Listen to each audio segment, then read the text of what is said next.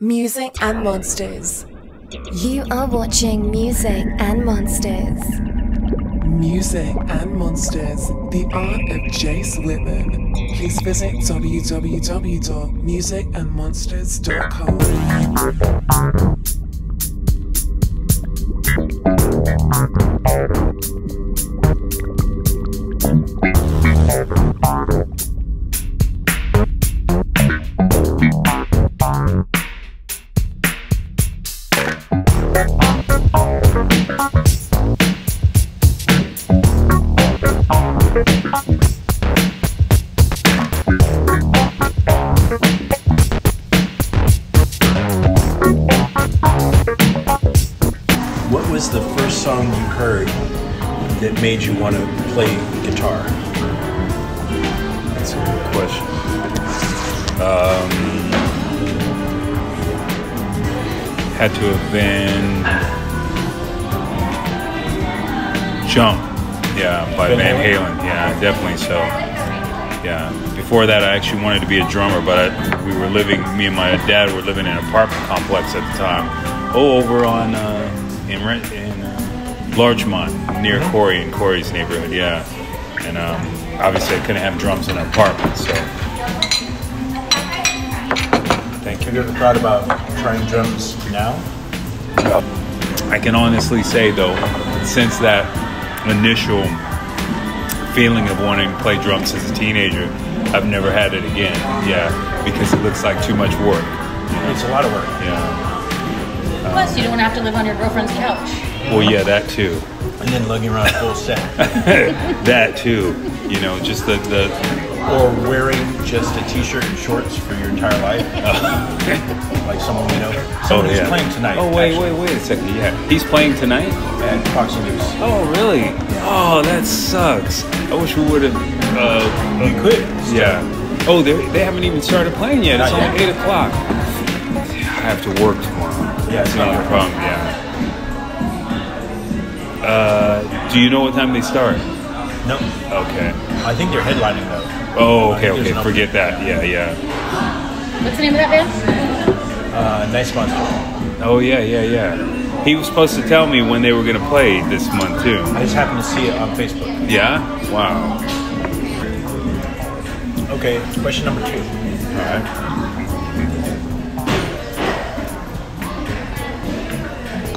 What's your favorite horror movie? Oh, that's a tough one. Just what? Uh, no, It has to be The Thing. Yeah, I would have to John say The Carpenter's Thing. The Thing? John Carpenter's The Thing. why? just because I love the characters in that movie. Kurt Russell obviously is a standout, but uh, also what's his name? Um, Wilford Brimley. uh, not him. Uh, Keith David? the uptight Keith David. yeah, yeah. I love his role in that movie.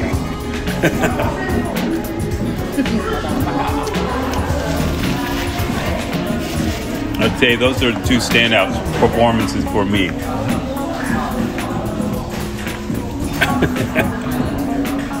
it's funny thinking about them. Have you seen the theories?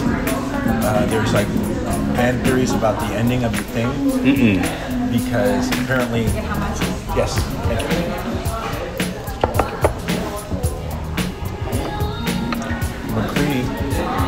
Has breath vapor,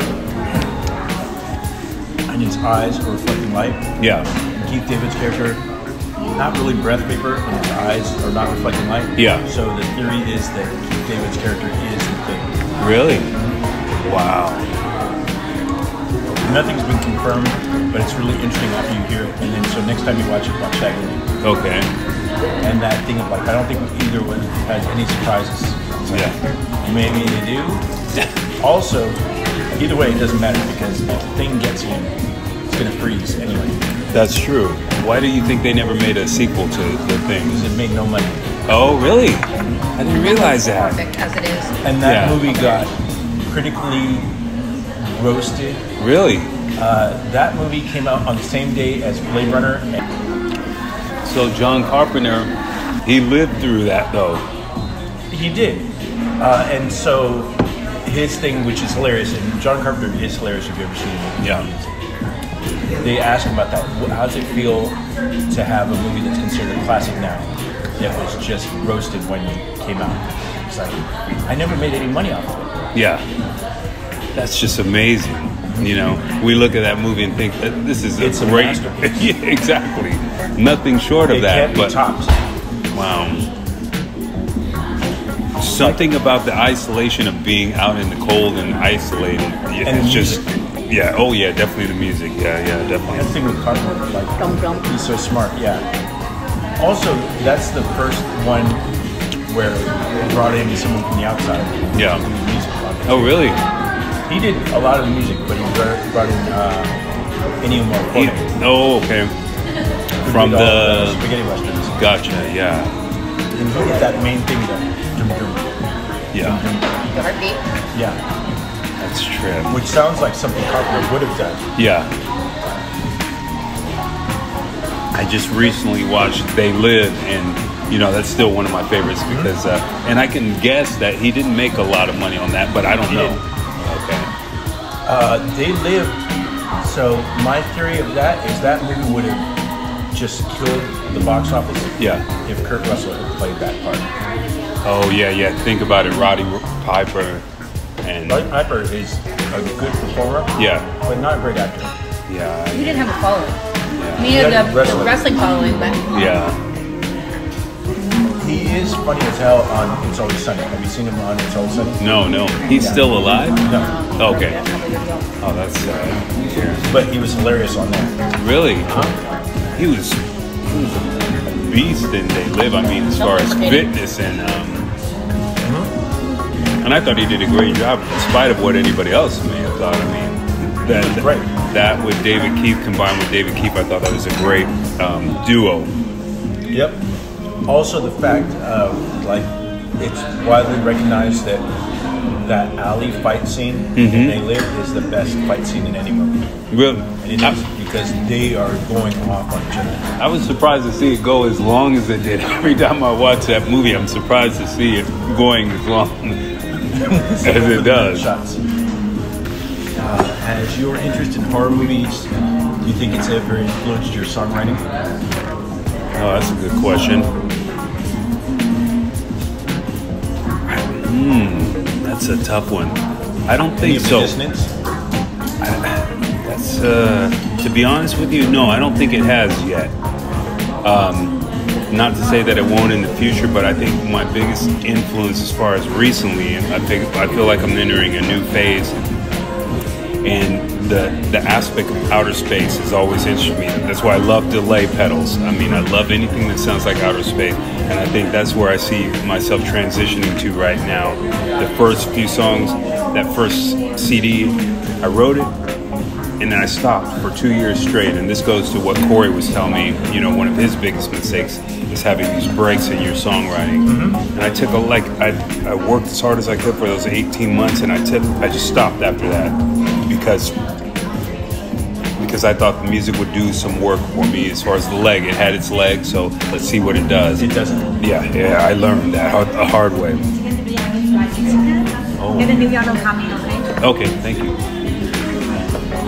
But uh, but I, I'm hoping to be more consistent and not not um, not falter again. Just be able to consistently write, just because I love writing now, and, and I love the um, the autonomy, and I love just being able to, um, you know,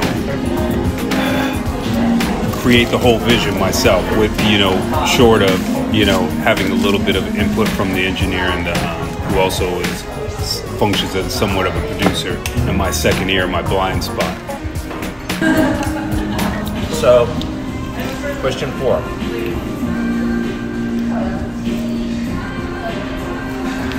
If you could write a song with any living musician, Yeah. who would it be?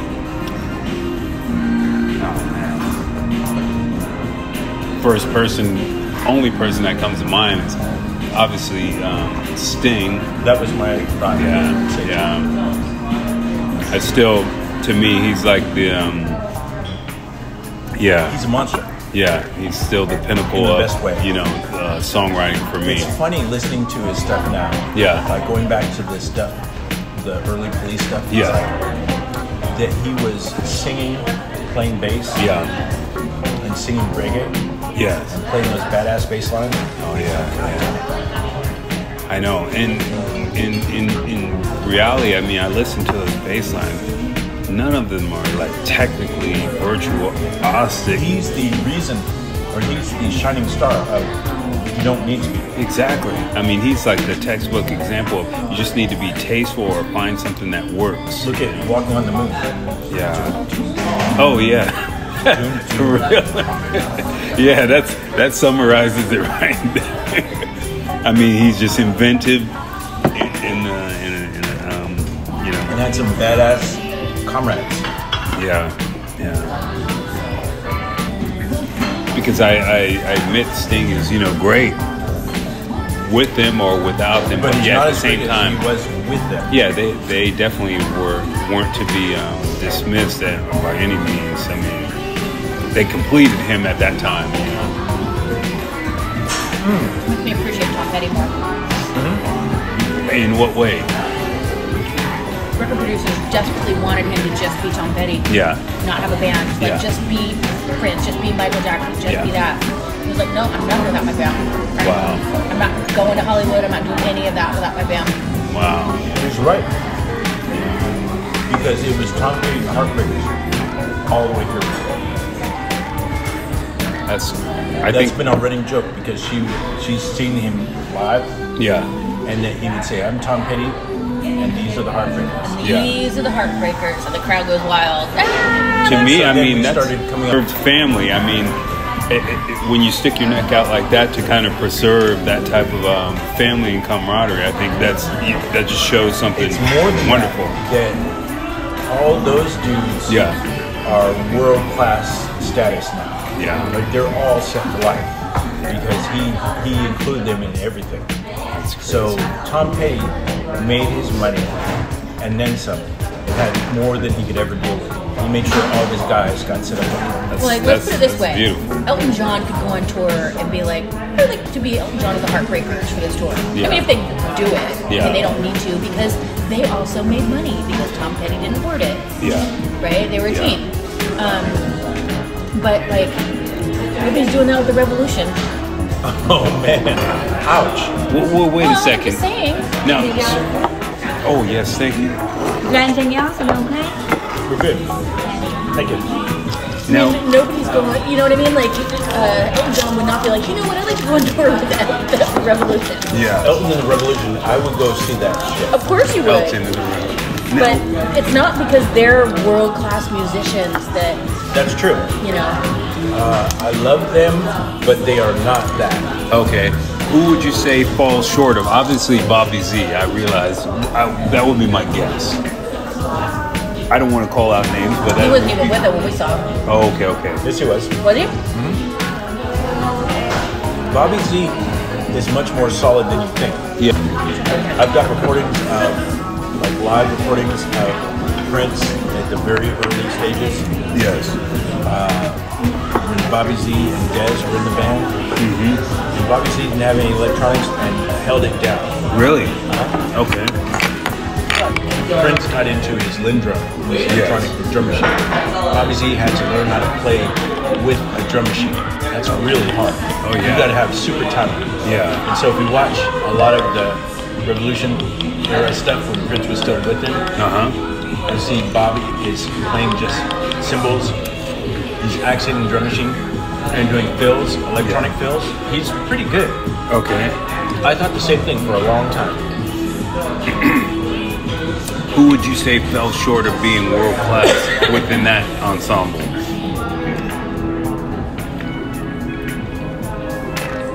They were a rudderless ship. Oh, without Prince? They just didn't didn't have a soul. Without Prince, all of them fell short. Yeah. Well, with one exception, two exceptions. Dr. Fink is still Dr. Fink. You can't you can't take anything away from him. Yeah. That dude is bad. And Lisa is bad. So of course I'm biased towards the Not. Wendy, but Lisa. Wendy is bad, but not world class bad. Oh, okay, okay. So Lisa is the one. Like, there's a moment in the Revolution show when they do this super long jam of controversy that goes into all these different phases and things. And there's a point where it breaks down where they're all chanting for Lisa. She does this jazz piano solo, no beat, and it's just her. Like, my, I've got goosebumps thinking about it. I was like, oh my god, that's her. Like, you know, uh, I was all messed up emotionally watching it Yeah. and then suddenly, oh my god, that's her. Wow. something like if you saw Van Halen and they had uh, no lead singer, Mm-hmm. it's just Van Halen with hired guns. It's still kick ass because they're still a kick ass band. Yeah. It's kind of like Revolution. So it's a weird example because Van Halen's actually tried to do it without Rod. Oh yeah. It doesn't work. Not for me. No, yeah, it doesn't. Not with the dude from Extreme. Not with uh, Red Rocker. Oh, you didn't even like him with Red I thought he was okay. Yeah, I, I did. I like he didn't try to do. well, I should say David I like Roth. yeah. I like Sammy. Hagar's solo stuff Yeah. better than when he was with Van Halen. Really, That none stuff of the Van is- Halen it was stuff so you like. soft. Yeah. It's weak stuff to me. Ooh. I, for me, I have to disagree. At least on that first album, I, I, I really fell in love with 5150. Okay, But that's I'll me. have to revisit. Yeah. Uh, if you could have any living musician besides Sting listen to your your upcoming album, who would that be? Hmm. Or dead? No, that's complicated. Okay. Um, any living? Oh, that's a good question. Um, oh yeah. Um, what's her name? Um, the bass. Mom's Mabry? no, the bass player for Khruangbin. I forgot. I'm trying Oh, to remember yeah. her name right now. I forget her name too. Laura Lee. All right. Yeah, it would be great. I mean, considering that she's used to writing instrumental music, just being able to uh, play something with her playing you, bass, would that like would be great. I don't know. That'd be nice to believe that she she would, but I mean, that would be uh, She would. That would be that would be awesome to write with somebody like that. She would like it. That's cool. I appreciate hearing that. So what's funny is I shared a interview with them Yeah. on Facebook. A couple days ago. Yeah. And I said that you had introduced me to their music. Yeah. And I find that I keep returning to music, which is true. Yeah. And my friend Steve, that is diehard Prince fan, Yeah. really cool dude.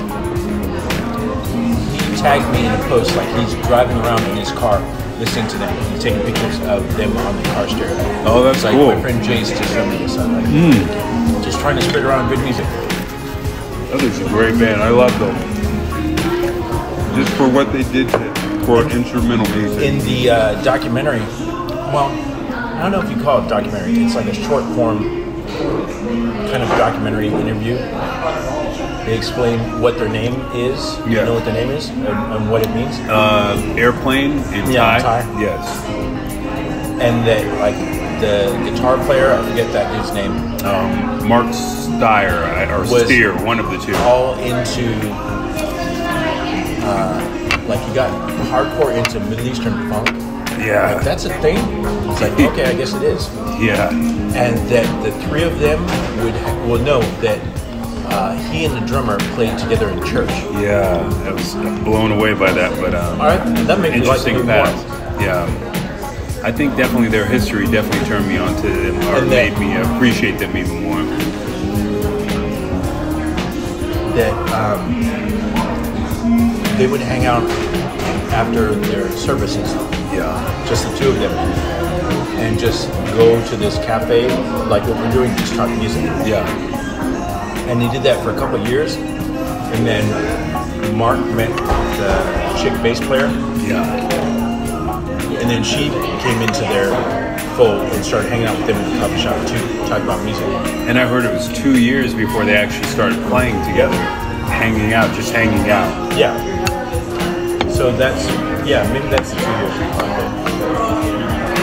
But that it was two years, and then he hooked her up with something, some kind of uh, a band thing, not the current configuration. Hooked her up with something where she, like, he taught her how to play bass. Oh yeah.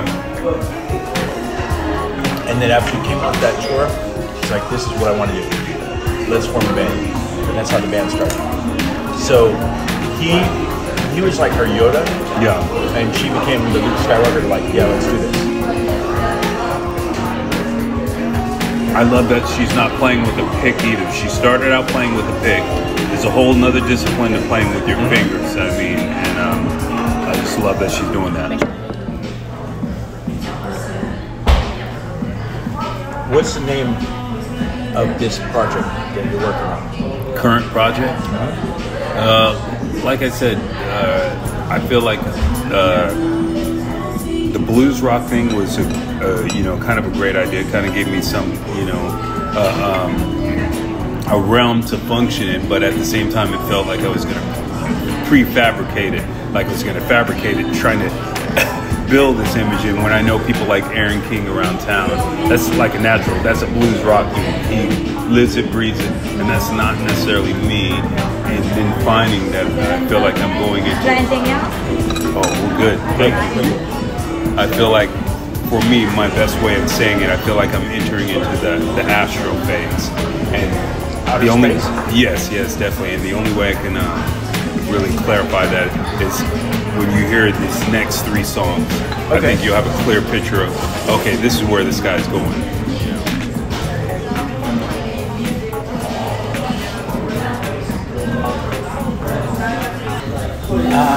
If you could write for any director that you could think of, uh, like if you could put your music with any director you can think of, who's do you have somebody top of your list? Oh yeah, yeah, definitely. What's that? He just obviously he uh, directed Sac uh, State Graduate, uh, uh, uh, directed uh, uh, Black Panther. What's that guy's name? Um, Oh, I wish I knew his name. I can't think of his name. Coogler? Who? Yeah, yeah. Uh, Ryan Coogler? yeah, yes, yes, yes, yes. He's from Sac State? Yeah. Oh, I had no He idea. said he's a Sac State Oh, graduate. that's cool. But I would love that he made some weird, uh, you know, sac- uh, some weird indie movie, and and he actually found some of my music on YouTube. That would be a dream come true. That he thought a, petit- a particular piece of music would be great for a scene in a movie, you know, or one of his, you know, films, documentary. Drink that. Fill it up. Oh. Oh, wait, where's yours? Oh, you're Give all done. You're, you heard it. I've been drinking hers too. Ooh. All right. No, let's no, see. no, don't fill it. Sorry, you got dry. Oh, oh yeah, yeah, yeah. I'll do half of it.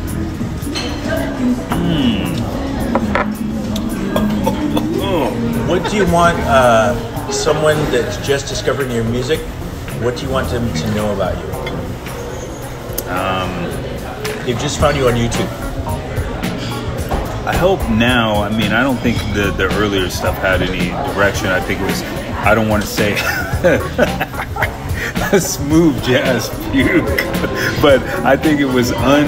It was un.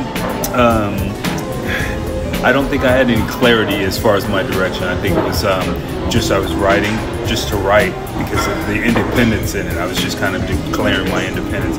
But now I think I have a clear, a defined vision. So I, I want them you- to be able to hear where I'm, where I'm, how I, hope- think about I hope you will get to the point where you realize that Alignment of Stars, like the, the project, Yeah. is all good music. Yeah. It's all good music. It's not. I'm not saying it because I'm drinking. Yeah. Or because we're friends. But I can say it from an outside perspective. It's all good music. No, I appreciate that. Like I remember when you first played the one song for us, we were driving down to go see Jonny Lang. San Antonio. Oh yeah, yeah. And you played yeah. San Antonio in the car. And I was in the back seat, and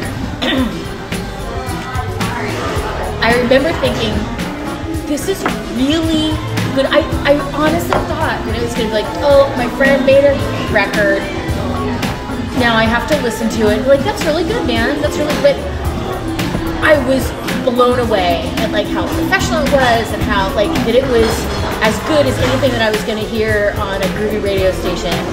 And Mm-hmm. Still I, stands. And I kept thinking, how can I say that to him so that it doesn't sound like the friend that's like, yeah, man, that's good. You know, like the the the the support you give someone when they tried really hard. You know, because you, you gotta do. There's the support you gotta give. Like, no, man, that's really great. Good, good for you. Good for you. And it wasn't that. It was like, holy shit. Like, oh my god, I had no idea. Like one of those. Like this is so exciting. I was so excited for you. And it's still, I still feel that way.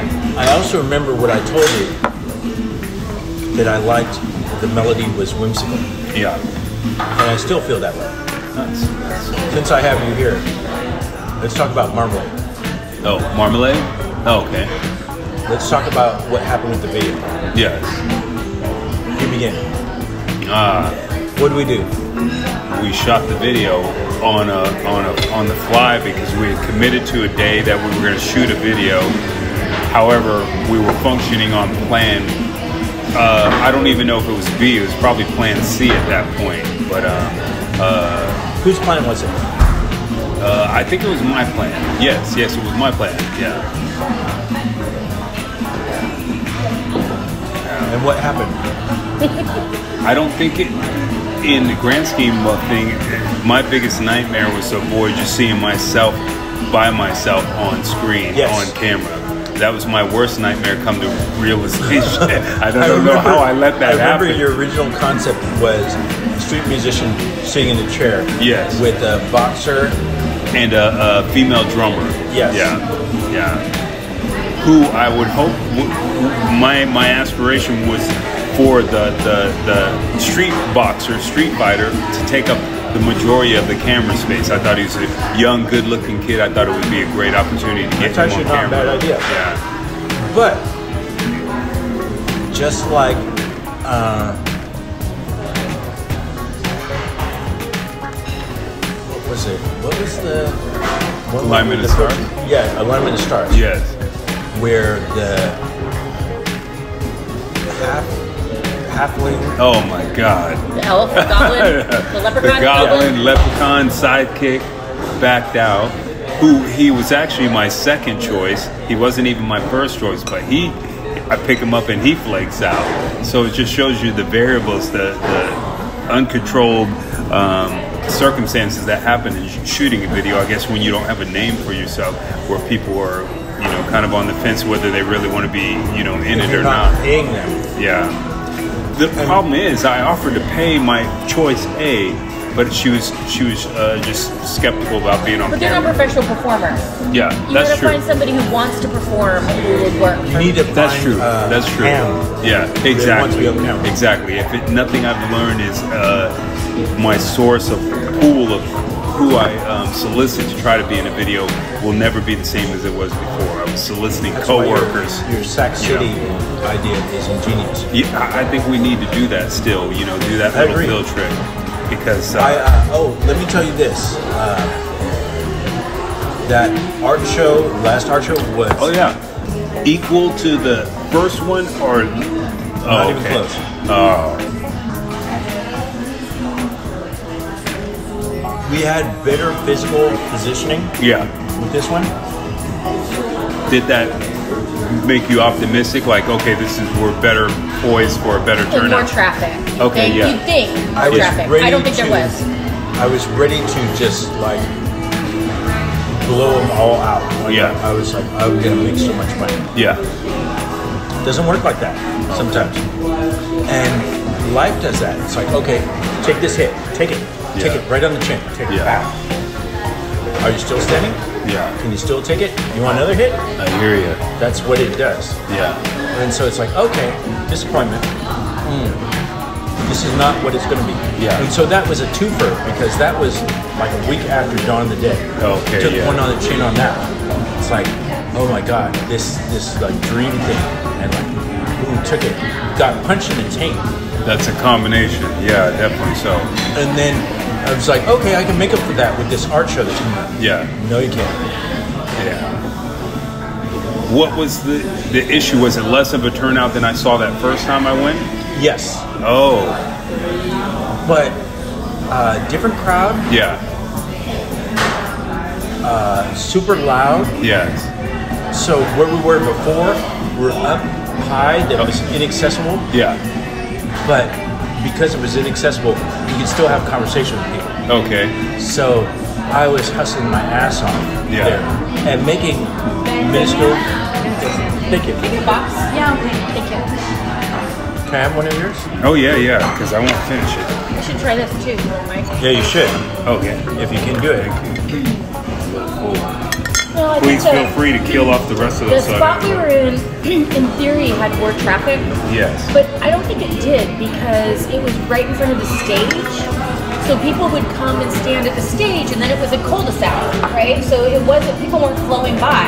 Okay. They were just coming and stopping there. So it wasn't like there was a lot of free flow of traffic. It was just, and it was too loud. We couldn't even talk, and so it was very hard to talk to people. And our whole bit is trying to charm people. Yeah. Right. Yeah, we couldn't do any of that. So it eliminated that that um, that aspect of Yeah. uh, marketing. Oh, all of it. All of it was gone.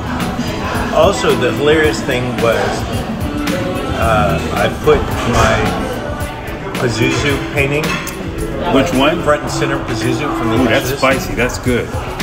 Good. Okay. Pazuzu. The scary devil face from the uh, Exorcist. Okay. Yeah. Yeah. You know that face that shows up in the, the subliminal flash? Oh yeah. Yeah. Yeah. Yeah. It's terrifying. Yeah. So, the first show, my entire audience, all the buyers were black people. Yeah. To the point where I'm like, Interesting. it's because Prince. Yeah. Oh, okay. Okay. And to the point where I'm standing up there, like I see a black person walk up, I'm like, come up here. Yeah. And then I've got like this, like I'm pushing. Yeah. Like, let's talk about Prince. Yeah. Pushing to try and make that $20 sale. Okay. Here, there was no way to do that. Really? And the black people were afraid of the Exorcist painting. Yeah. Oh well. Yeah. Yeah. I saw some black people come by. What a and We go, don't weird fuck around. stereotype. Like this? That is a real Yeah, stereotype. yeah. Like I Yeah. do not feel bad about Oh saying yeah, that yeah, to my yeah. black That that's a legit stereotype. Like, yeah. I'll that be the- honest with you. that Yeah, is there's the certain things I won't hang up in. thing. Yeah. Also, that well, I'll show you this picture. I mean, that's it's that's a legit thing. And so basically, that was kind. Music